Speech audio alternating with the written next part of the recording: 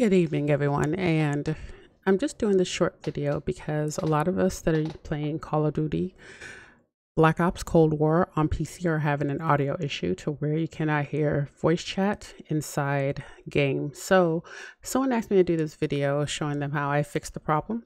Now, if you go to the Call of Duty app, you'll notice that it doesn't let you pick what you want to do what you want to use as far as your device. So it shows microphone, default device. My default device is my Yeti, which is what I'm talking into right now.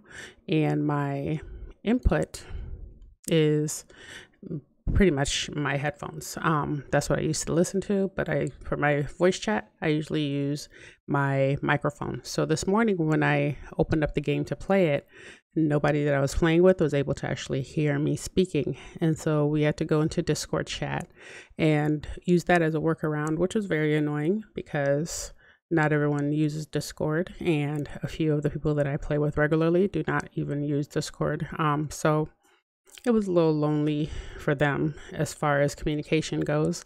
So I just want to show you a quick fix. So basically, what you're going to do is you're going to open up your control panel and I'm going to drag this over.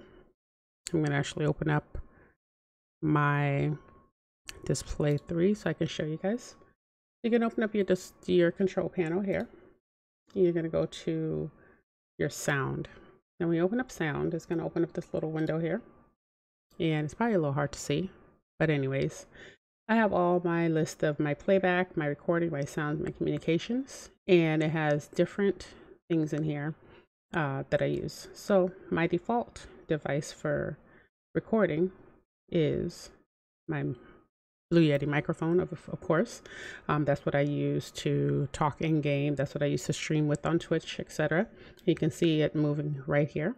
So when I opened up the game, this was correct. Everything was correct. There's no issue on my part. I believe it's a an in-game glitch. So basically what you're going to do is you're going to click on something else, anything in your box. You're going to right click, you're going to set that as the default. And then you're going to go back to the device that you actually want to use to work in your game. You're going to right click on it and you're going to make that default again. And that's it. That's literally the fix.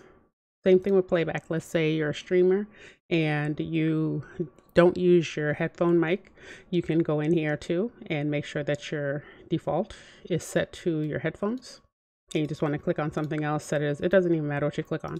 And then go back in, set that back as default, and that's it. Once you go back into the game, you're going to go and do a microphone test, and you will see the microphone just showing you. And that's it. Hope that helps. If you have any questions, uh, let me know down in chat and I'll try my best to answer them. I hope you enjoyed the video and talk to you later. Bye.